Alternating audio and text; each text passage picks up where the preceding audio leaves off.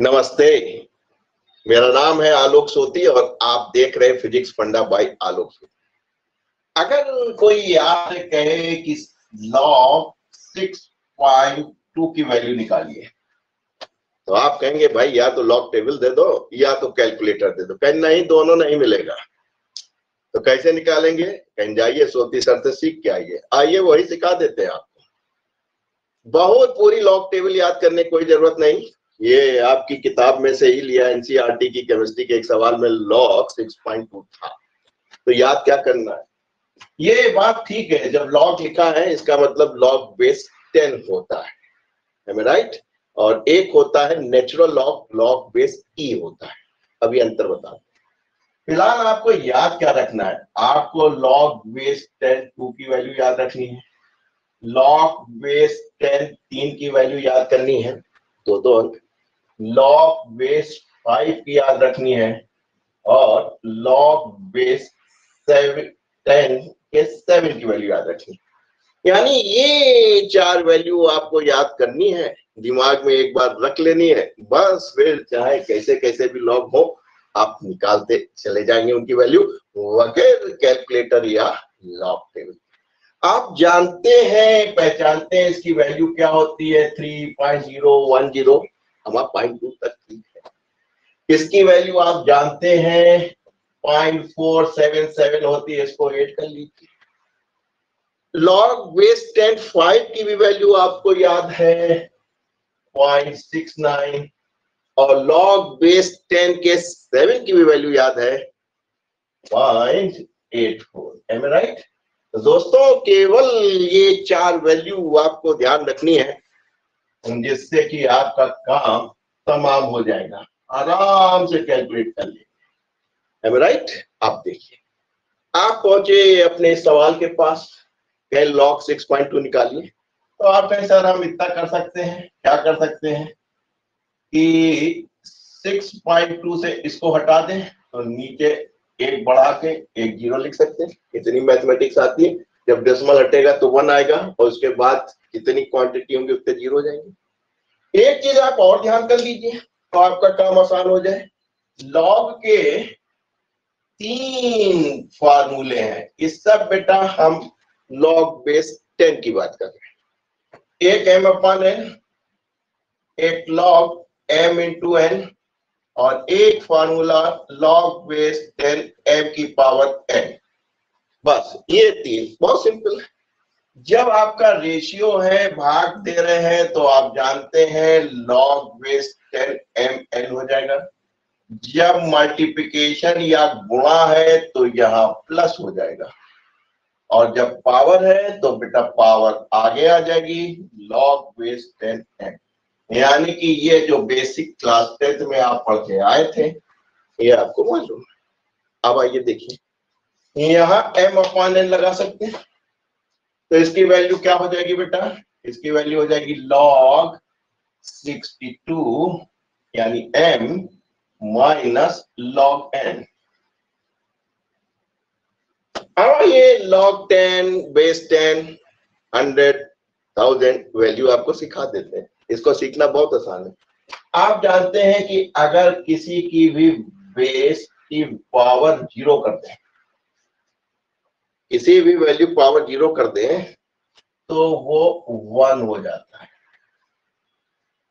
अगर हमको इसको लॉग में चेंज करना है तो क्या करेंगे? आप जानते हैं, ये लॉग का बेस होता है, ये आर्गुमेंट होता है और ये इसकी वैल्यू होती है। यानी अगर हम लिखेंगे इसको लॉग टेबल में तो लॉग ये बेस हो गया, ये उसका आर्गुमेंट हो गया और इस आर्गुमेंट की वैल्यू ये आपकी भाषा बोले भाई साहब, जो लॉग बेस टेन का लॉग बेस टेन का वन या लॉग वन बेस टेन वो क्या हो जाएगा? ज़ीरो हो जाएगा। सामने दिख रहा है। अगर हम आपसे कहें कि इसकी वन होगा तो क्या होगा? आपने कहा टेन हो जाएगा। किसी की पावर वन होगी तो क्या हो जाएगा? टेन हो जाएगा। टेन की पावर वन टेन तो बहन लॉग में चेंज कीजिए। तो आपने कहा ये बेस हो गया। ये इसका आर्गूमेंट और ये इसकी वैल्यू यानी log ten of base ten is equal to one ऐसे कन्वर्ट होता बेटा। अगर आपसे कहा जाए कि टेन का स्क्वायर कितना होगा? आपने कहा सौ इंटू सौ। दस इंटू दस सौ हो जाएगा। की पावर ज़ीरो वन इतना इतना। कहीं लॉग में चेंज करो। आपने कहा लीजिए। ये आपका बेस हो गया। ये आपका आर्गूमेंट हो गया और उसकी ये वैल्यू ये आप जानते हैं log one base ten zero log ten base ten is equal to one log hundred base ten is equal to two कहाँ से आ रहा है? यहाँ से आ रहा है। ये तो आप जानते हैं। अब कह लेगा अगर मान लो पावर तीन हो जाता तो आप जानते हैं one into one into one दस इंटू दस इंटू दस, तीन बार करते तो तीन, एक हज़ार हो जाता। बस आपको मिल गया। आपने कहा सर आपने सिखा दिया ये बेस हो गया, ये ये हो गया आर्गूमेंट और इधर। तो भाई साहब, आप सीख गए। ये श्रृंखला आप सीखे चले गए। अब इसके आगे तो नहीं करेंगे, आपको आता है। बस आपने कहा, sir log base ten log base ten one होता तो आपने वन अब पूरी पूरी समस्या आई। कि गुरु 62 कैसे कैलकुलेट करेंगे?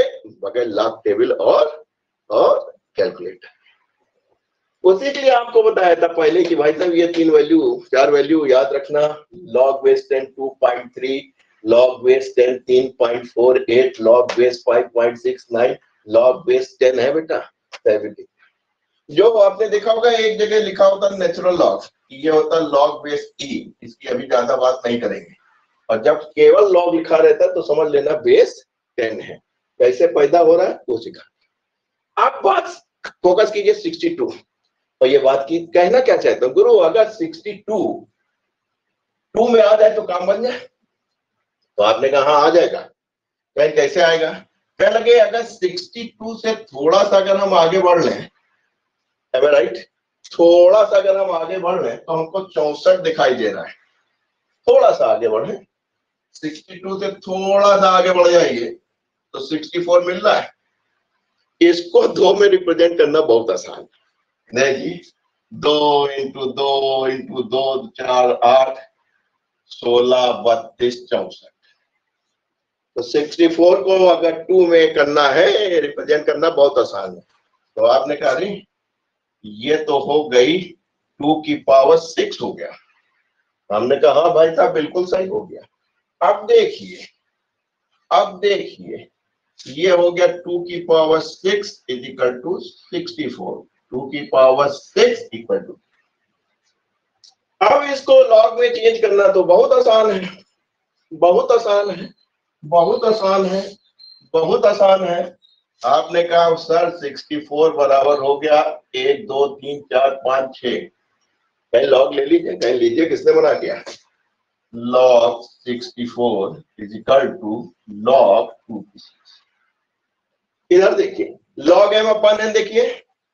ये m है, ये n है तो क्या हो जाएगा? n लॉग बेस टू यानी जो आपका बासठ था, उसको आपने किसमें चेंज कर लिया बेटा? 64 में कर लिया। टाइम चलो, थोड़ा आगे पीछे चल ही रहा है। और वो बराबर किसके हो गया? Six into log base ten का two log two of base ten और इसकी वैल्यू हमने कहा था, यार, इतना याद रखना है।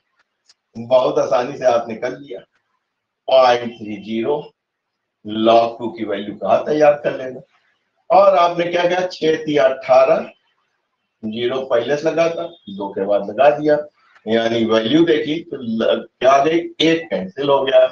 पॉइंट एट ज़ीरो यानी आप कह रहे हैं कि सर हमने जो log base ten six point two जो सोती सर ने विधि बताई है, उससे जब कैलकुलेट किया तो पॉइंट एट ज़ीरो अब आइए चलते हैं, ये हमारे पास साइंटिफिक कैलकुलेटर है। दिख रहा है बेटा?